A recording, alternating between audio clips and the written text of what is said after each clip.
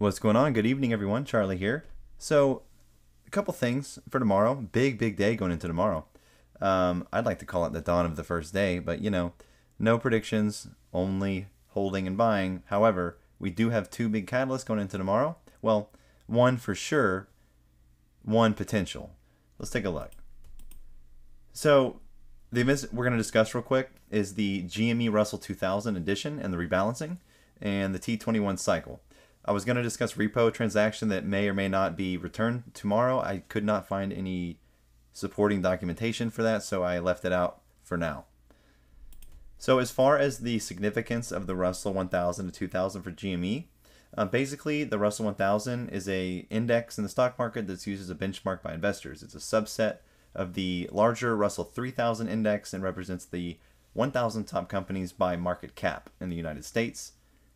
It's owned by the FTSE Russell Group, which is based in the United Kingdom.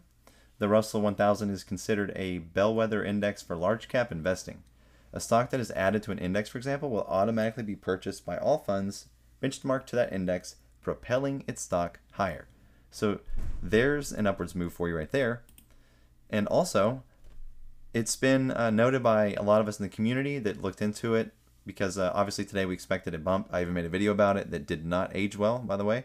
Um, very well could have been delayed one business day because we saw Juneteenth uh, get created as a holiday. Remember, the Fed Register shut down that uh, I believe it was last Friday, so that could be why we didn't see anything today. But I wouldn't 100% count on this because it's a maybe. There's no way to know for sure.